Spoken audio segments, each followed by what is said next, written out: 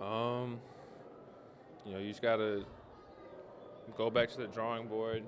Uh, I think we have to get angry about it. Um, you know, I feel like this is kind of the breaking point of our team right now, and uh, we have a great opportunity against Minnesota, and we got to take care of business. You know, it's no other option but win. Speaking of uh, getting angry about it, did you feel the effort was there today, or was it more of a tactical thing or an effort thing? Uh, you know, I think uh, they did a good job cutting. You have to give them a lot of credit. Um, you know, they, they they were getting lost in our zone, and we were having a hard time matching up with guys. But um, you know, our, our effort has to be a lot better to win in this league. What made their their like three quarter court press so difficult to break? I mean, you guys didn't do well too much, but it seemed like you had. Took, it often took you like 10 seconds to get it across that court. Yeah, I mean, I think it's just you know, everybody was a little bit weak with the ball. You know, you think in a press you got to be decisive, and you know, everybody in our team at some point was, uh, including myself, was a little hesitant, and I think. You know, I think once the the other team smells blood, they can they can keep attacking you.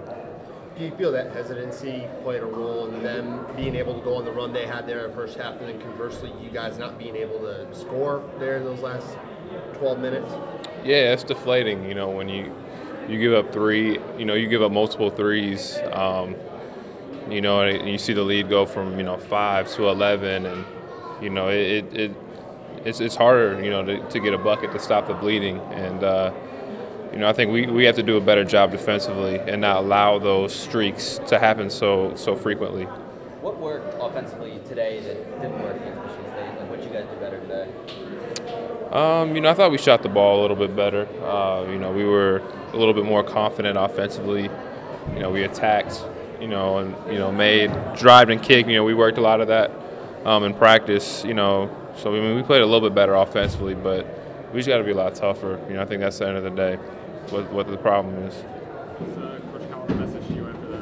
Uh, he just wants me to, you know, play harder, play with more intensity, and you know, do the things I have been doing well, doing better. And uh, I think I did, for for the most part, did better this game. But we didn't come out with the result that we wanted. So. What was it about Iowa's press that caused you guys so many problems? Uh, I just thought that we were kind of timid with the ball. Uh, I don't think their press was, you know, that intimidating or anything. We just weren't confident with the ball, so we were turning over a little bit. What makes Peter Jok so difficult to defend?